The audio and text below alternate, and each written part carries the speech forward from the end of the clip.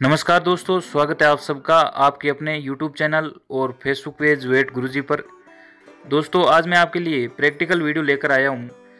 दोस्तों, अगर आपको ऐसे वीडियो देखने हैं तो चैनल को सब्सक्राइब ज़रूर करें और पास में बने घंटे के निशान को दबाकर ऑल का ऑप्शन ज़रूर सेलेक्ट करें। दोस्तों, ये जो आप स्क्रीन पर गाय देख रहे हो, इसके बारे में जब पशुपालक भाई से हिस्ट्री ली तो पशुपालक भाई ने बताया कि ये गाय कल से चारा पानी नहीं कर रही है और इसको उठने बैठने में भी तकलीफ़ है और ये पीछे वाले पाँव से लंगड़ा कर चल रही है और इसके पिछले पाँव में कम कम भी है, जैसा आप वीडियो में देख सकते हो। दोस्तों, इस गाय की जो मजल है, वो भी एकदम सूखी हुई है और ये गाय एकदम सुस्त है। और दोस्तों, पशुपालक भाई ने बताया कि इसका दूध भी कम हो गया है। दोस्तों, जब इसका टेम्परेचर लिया तो इसका टेम्परेचर 103.1 डिग्री फ़ारेनहाइट मिला। दोस्तों, इसको एम्पीमरल फीवर है, अडिया बुखार है, तीन दिन का बुखार, जिसको दोस्तों, ये तीन दिन का बुखार होता है, जो तीन दिन बाद में अपने आप ठीक हो जाता है। लेकिन दोस्तों, पशु एकदम कमज़ोर हो जाता है और पशु का दूध कम हो जाता है, इसलिए समय रहते इस बीमारी का इलाज करा लेना चाहिए। दोस्तों अडिया बुखार के बारे में मेरा विस्तार से वीडियो बनाया हुआ है, जो मैं आई बटन में दे दूँगा, उसको आप जाकर देख लेना। इस इस वीडियो में, दोस्तों, इस पशु को मैंने क्या ट्रीटमेंट किया, वो मैं आपको आगे बता रहा हूँ। दोस्तों, इसमें मैंने जितने भी इंजेक्शन इस्तेमाल किए, वो इंट्रामस्कुलर लगाए हैं मास्क के अंदर।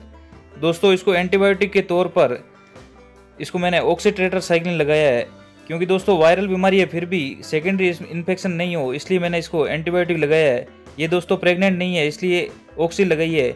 अगर प्रेग्नेंट पशु है तो आप प्रेगनेंसी से दूसरे जो एंटीबायोटिक है, वो लगा सकते हैं। इसको दूसरे इंजेक्शन के तौर पर मैंने आर्टिजोन एस लगाया है, दस एम और दोस्तों ऑक्सी मैंने इसको पंद्रह एम लगाया था। और इसको मैंने दस एम नीमोवेट दिया है, अच्छे रिज़ल्ट के लिए। और दोस्तों इसको 10 एम एल बी कॉम्प्लेक्स दिया है विद लीवर एक्सटेट जो बी कॉम एल आता है, वो 10 एम एल दिया है। दोस्तों, इतना ट्रीटमेंट देने के बाद में, इसमें एक दिन में ही पशु में बहुत ज़्यादा सुधार देखने को मिलता है। पशु जुगाली करने लगता है और सूखा चारा खाने लगता है। दोस्तों, ये पशु, ज़्यादातर पशु दोस्तों, इस बीमारी में एक दिन के ट्रीटमेंट से ही ठीक हो जाते हैं। लेकिन कुछ पशु के लगातार दो दो दिन ट्रीटमेंट करना पड़ता है। लेकिन दोस्तों, ज़्यादातर पशु इसमें एक दिन से ही ठीक हो जाते हैं। दोस्तों, अडेया बुखार में स्टेरॉयड इंजेक्शनों का इस्तेमाल नहीं करना चाहिए, जैसे डेक्सा हो गया प्रेडनिसलोन हो गया, या फिर आइसोप्लूड हो गया, इस तरह के इंजेक्शनों का अडेया बुखार के अंदर इस्तेमाल नहीं करना चाहिए।